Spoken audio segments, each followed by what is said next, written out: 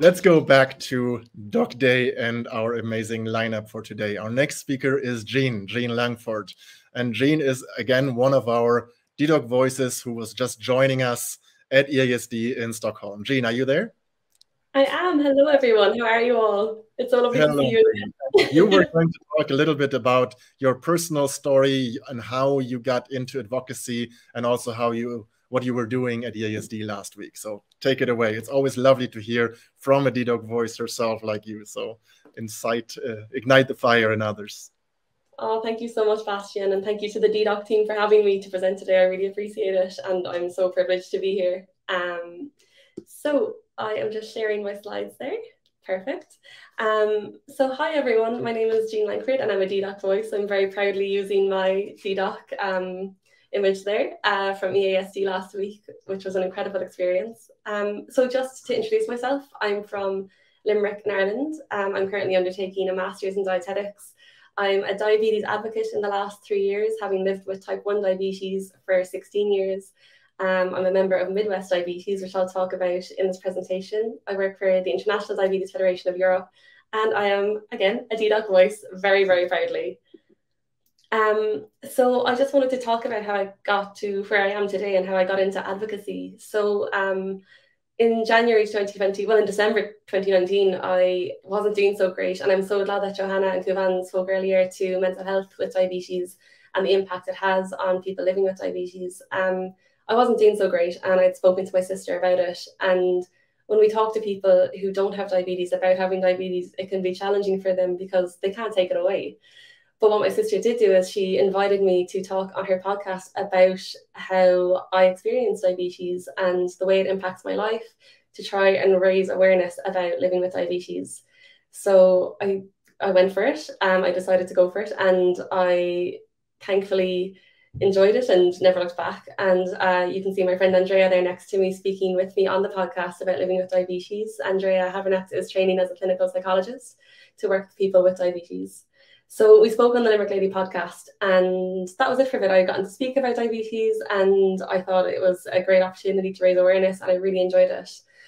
And the podcast was published, and um, a peer support group reached out to me, a member of a peer support group, and uh, that I wasn't aware of.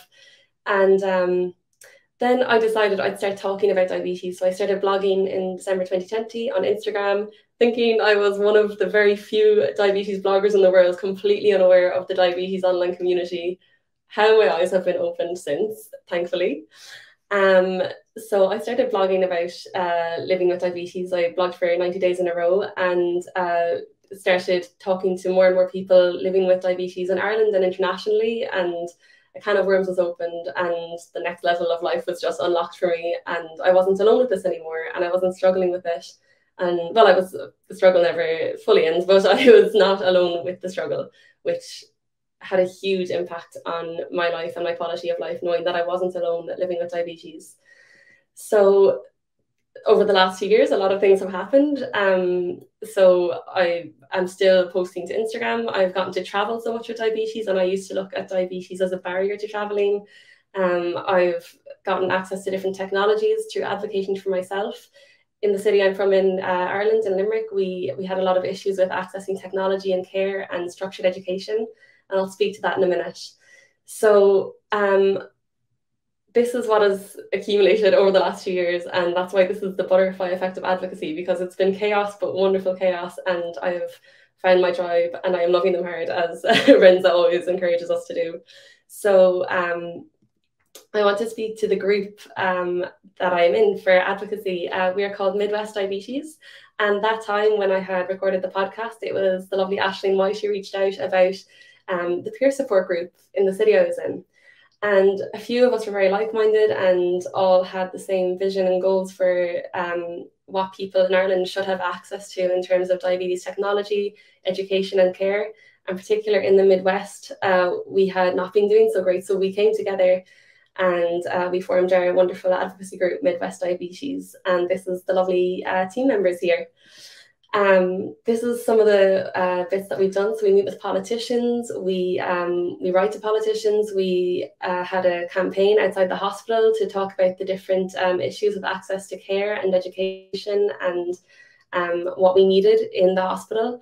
And we welcomed politicians to come and uh, speak with us about it. And it was absolutely fantastic. We had more than 30 people outside of the University Hospital Limerick um, talking about what needs to change.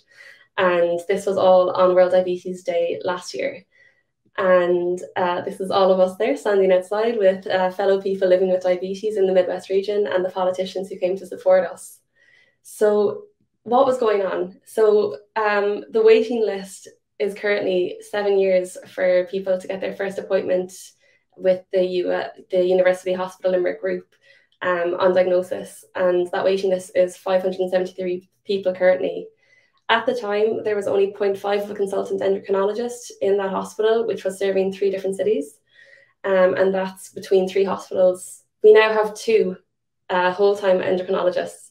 Uh, at the time, we only had uh, 4.4 in terms of the positions of diabetes specialist nurses. We now have six diabetes specialist nurses, thanks to the campaigning and advocacy and support of our local politicians. We had no dietitians in our diabetes clinic for adults. We now have three and we had no diabetes specialist diabetes specialist education and uh, we are now DAFNE approved as of this year. We were the only level four hospital um, in our level four hospital group in Ireland to not have DAFNE, and we now have that approved. So we have structured education coming in for people living with type 1 diabetes. Um, there's been challenges to accessing technology, which I experienced personally. I wasn't attending for my care um, in Limerick as I wasn't able to access an insulin pump or technology. So we are still working on this as well. So as a group, we've come together to try and improve these services so that people in the Midwest region can um, have access to the proper tools, technologies, and education that they deserve to have.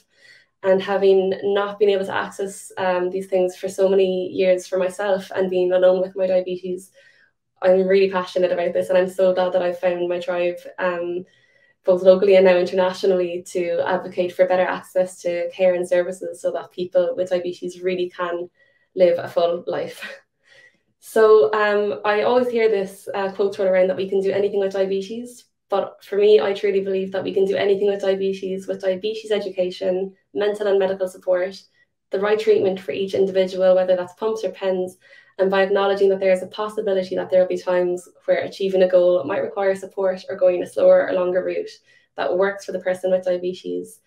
And my message from my journey is I really want others to use their voice to advocate for not just what they need, but what they want um, diabetes is hard enough. We all need access to the things that we want and need, and the support that we want and need. And advocacy truly does drive policy, and I've seen it firsthand with our wonderful advocacy group. And I'm so excited for us to be able to um, achieve all of our goals within the Midwest region, and then hopefully contribute towards bigger and better projects to make the lives for people with diabetes better across the board. And thank you so much again to dedoc Voices for having me speak today. It's an absolute privilege, and I've really enjoyed the speakers so far. So thank you very, very much to you all. Thank you, Jean. Thank you. Wonderful presentation. And you will have seen the couple of comments that I looped in. Here's another one from Wanya dedoc Voice from Pakistan, who you met at EASD Stockholm just last week. So I think your your term butterfly effect is just making the rounds. We saw Leon commenting from Australia. So it's uh, going around the world already with Doc Day broadcasting live. I love it. There is another comment here, and I'm going to loop it in and say hi to Steffi, our head of comms, who was, as I said, supposed to host this day today.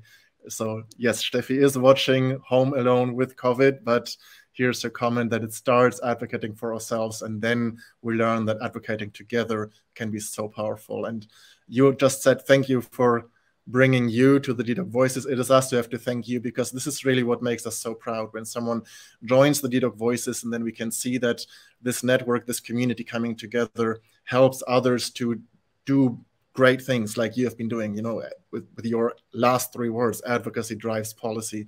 It is so important to understand that, that it is much more than just, you know, trying to get better treatment or better devices for yourselves.